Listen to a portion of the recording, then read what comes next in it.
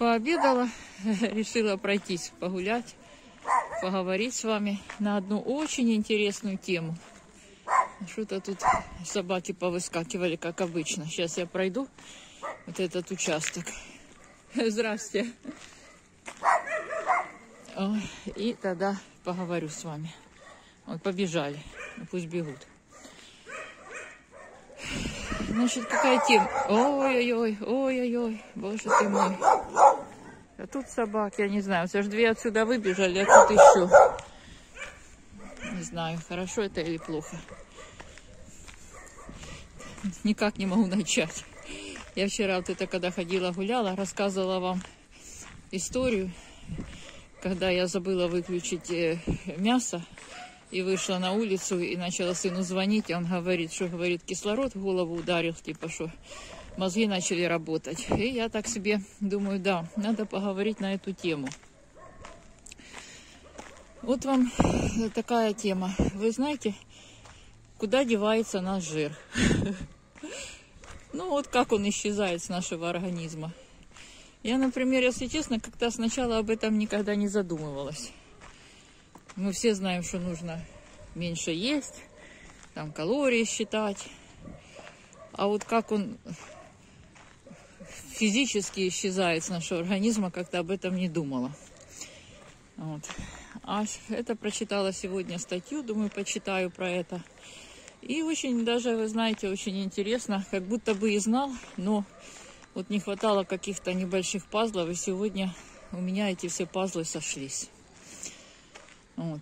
Оказывается, вот вы знаете формулу, да, углекислого газа, воды, все знают формулу. А формулу жира своего, оказывается, в нашем жире углерода 55 атомов примерно, С55, водорода 104, по-моему, или даже больше, я уже не помню. И кислорода всего 5 или 6 атомов. Там что-то такая формула С55, H104 и О там 5, что-то такое. И вот почему важен именно кислород вот, э, для похудения. Вот когда мы занимаемся спортом или вот пешие прогулки только в таком, знаете, хорошем темпе, когда идет Э, кислородный обмен, процессы вот эти вот в организме. Оказывается, жир, который соединяется с кислородом, он превращается в СО2 и в H2O, в углекислый газ и воду, и выводится с нашего организма дыханием, вот как при учащенном дыхании, когда мы дышим, ну и в виде пота, слез, кала и мочи. И дыханием выводится, оказывается, около 80%. Или 70, я что-то уже точно не помню, но очень много. А э, в виде воды всего там 20-30%. Поэтому почему так важно прогулки именно на воздухе и именно прогулки, которые э, в таком в темпе хорошем для нашего лучшего кровообращения, для поступления кислорода в кровь и выводения, расщепления наших жиров на кислород и водород. Вот поэтому, девочки, вот когда мы сидим дома, да, вроде мало едим, а вес не сдвигается. Получается так, что мы мало двигаемся, наверное, мало дышим. Именно кислорода мало поступает.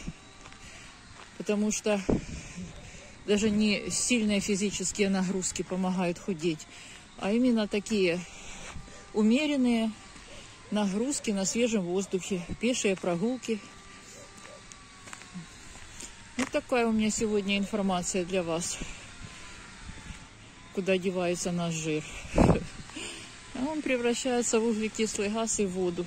Только нужно помочь нашему организму это сделать. Шумит что-то пиляют, наверное. Буду и пойду в другую сторону обратно. Пойду обратно и сверну в другую сторону. Не хочу, что там шумит, не хочу. Так что вот вышла погулять после обеда. чтобы лучше был кислородный обмен. Тем более еще, чем важен наш это кислород нашей жизни. И именно не такие не сильные нагрузки на организм. Потому что в сидячем виде наша кровь, ну, там что-то, я не знаю, там за минуту пусть там 2-3 литра крови проходит через сердце. А если мы начинаем какие-то нагрузки, то, конечно, поступает больше кислорода, и сердце начинает лучше работать, и проходят вот эти вот процессы, обменная кровь в 2-3 раза быстрее течет, как говорится, по нашим жилам. Но это я так все просто рассказываю, чтобы было понятно. И поэтому и укрепляется иммунная система, и наш организм, сопротивляемость, улучшается сопротивляемость э, к респираторным, с раз, разным вирусным заболеваниям. Так что нужно гулять на свежем воздухе. Если нет возможности, открывайте окна и дышите глубже, как говорится. Делайте какие-то упражнения, там машите руками, чтобы участилось именно дыхание. Вот такая тема у меня сегодня интересная. Как вам? Нравится? Ну, хорошо, буду я гулять. Рассказала вам, куда девается наш жир, как он выводится. Вот, как он туда попадает, я думаю, вы все знаете, да? А как выводится, я не знаю. Я лично не знала. Да что это с этими собаками? Ну, это кошмар какой-то. Такие все собаки агрессивные. Могу. Хотела еще поднять одну тему интересную. Какие, мы, вы, какие вы все-таки разные все мы люди, и как по-разному воспринимают. Я вспомнила, может, кто знает этот стих, я вчера искала, но вот я не помню. Я знаю, бабушка раньше мне рассказывала этот стих очень часто. Это, значит, как мама пришла с работы, а ее встречают двое детей. Но это я только так помню сюжет, а как стихом не помню. Ее встречают двое детей. Значит, там дочка ей предлагает присядь, ты устала, несет тапочки. А сыну то спрашивает, мама, что ты купила? Давай расскажи мне сказку, там еще что-то. Ну, и она в конце тоже, да чего ж вы у меня разные? Так вот это и вы у меня, да чего ж вы у меня разные? Так интересно, боже, и тут собака, да куда ж мне идти? Так вот это же я. Говорю, да чего ж вы у меня разные? Когда-то жарила котлеты, не ела их. Все, ой, что нельзя съесть одну-две котлетки? А это недавно было видео, где я съела две котлеты, пишут. Разве можно есть такие жирные котлеты? Разве это похудение? Это так интересно, правда. Да чего ж все разные. Я так вспомнила этот стих, что бабушка рассказывала. Я так хотела его в интернете найти. Как я его туда не записывала, и сюжетом, и там последними словами, так и не нашла. Она мне в детстве много стихов учила. Очень любила Крылова, вот эти басни, особенно вот это про свинью.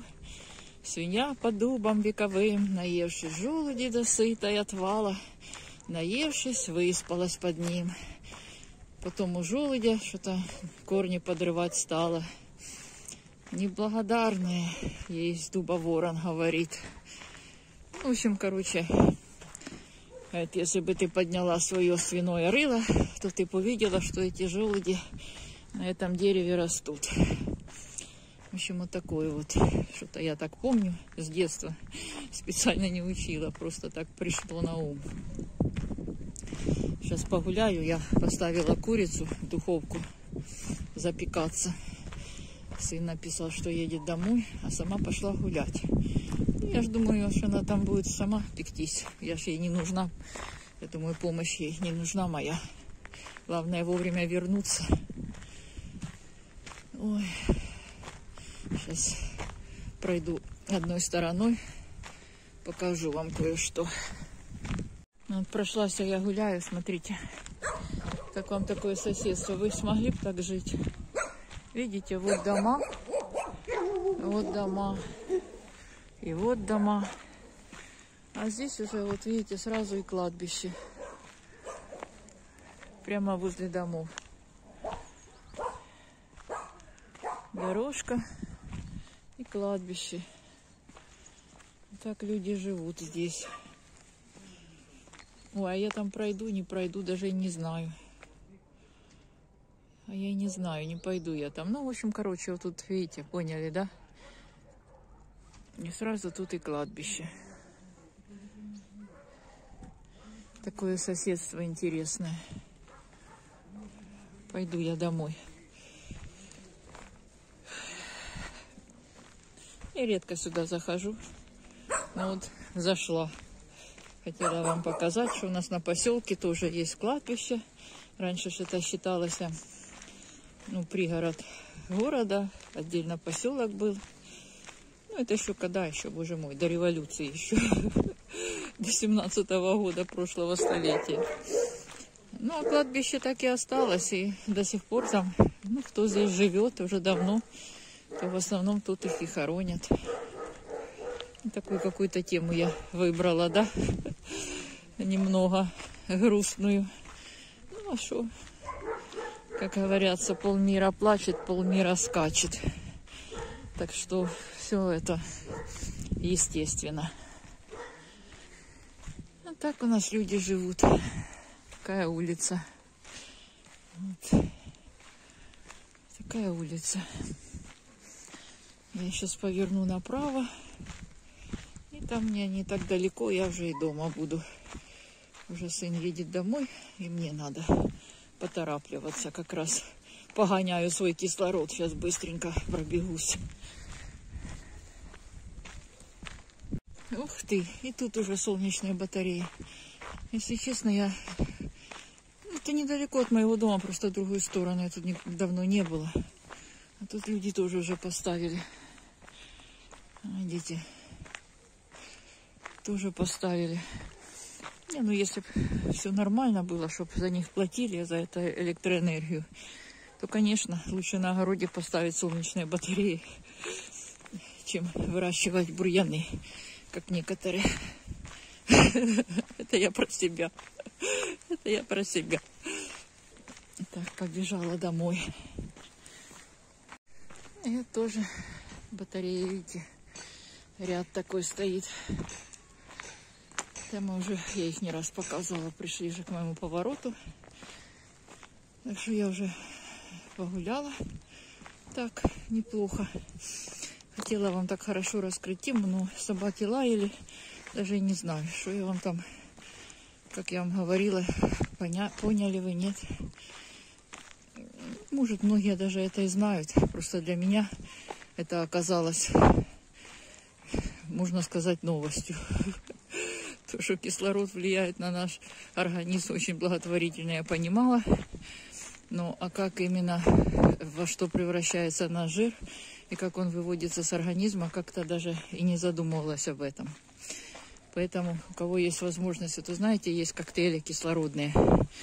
Я думаю, что очень полезно было бы их попринимать. Но они, по-моему, не дешевые. Вот такой вот у меня сегодня такая прогулка получилась. И такие небольшие истории, рассуждения. Если кому было интересно, ставьте лайк. Кому было интересно, мне очень будет приятно, если вам что-то было новое. Ну все, я дома возле своей кучи. Когда мы ее вывезем? Но время придет, обязательно вывезем. Все. Пока я дома.